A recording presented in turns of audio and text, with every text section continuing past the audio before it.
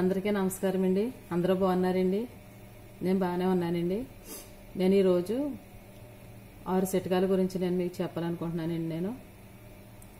తెల్ల ఉల్లిపాయల రసంతో తేనె కలిపి తీసుకున్నట్లయితే తిన్నట్లయితే విరోచనాలు అనేది మనకి వెంటనే ఆ విరోచనాలు అయిన వాళ్ళకి తినటం వల్ల వెంటనే విరోచనాలు అనేది తగ్గిపోతుందండి. అంతే కదండి.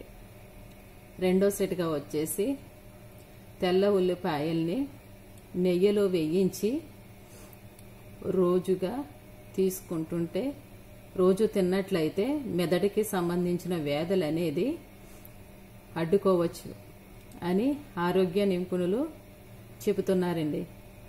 డాక్టర్లు అంటున్నారని మూడో సెట్గా వచ్చేసి ఉల్లిపాయల రసంతో మొహది సోప్ కలిపి సబ్బుని కలిపి చర్మానికి రాసుకున్నట్లయితే చర్మ సంబంధిత రోగాలు నయమవుతాయండి.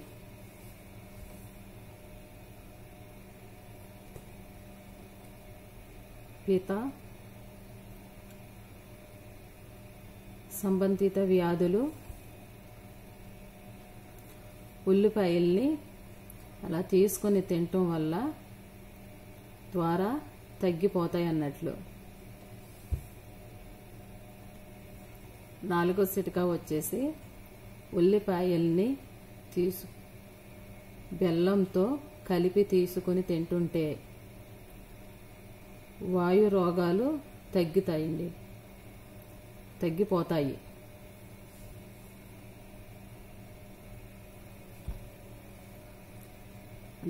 ఐదో సిట్కా వచ్చేసి ఉల్లిపాయల్ని రోజు తింటుంటే దంత సమస్యలు అనేది తొలగిపోతాయి. పళ్ళు బలపడతాయి. సిగుర్లకి క్రీములు సిగుర్లో ఉన్న క్రీములు నశించిపోతాయి అన్నట్టండి. మన దంతాల్లోనూ వచ్చే క్రీములు పురుగులు అనేవి కూడా అది తినటం వల్ల చచ్చిపోతాయండి.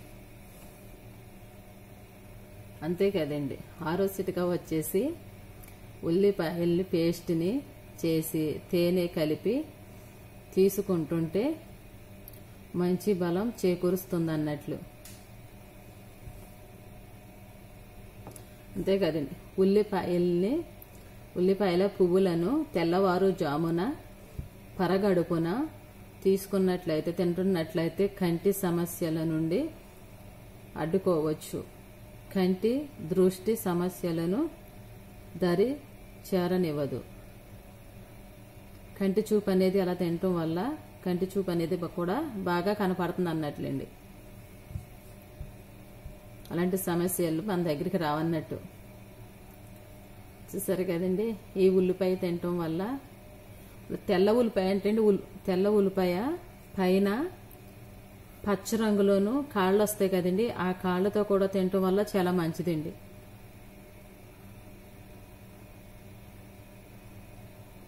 పచ్చ రంగులోను ఉల్లిపాయలకి కాళ్ళు వస్తాయి కదా. ఆ కాళ్ళు తిన్నా మంచిదే వాటిలో పువ్వులు తిన్నా కూడా ఇంకా మంచిదేనండి ఒంటికి మనకి. చూసారండి?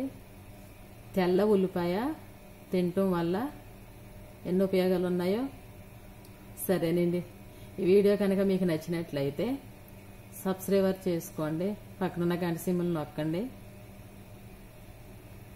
లైక్ చేయండి. మీ ఫ్రెండ్స్ అందరికీ షేర్ చేయండి. డిపిలో ఉన్నదేనండి మా ఛానల్. మన ఆరోగ్యం మన చేతిలోనే ఉంది.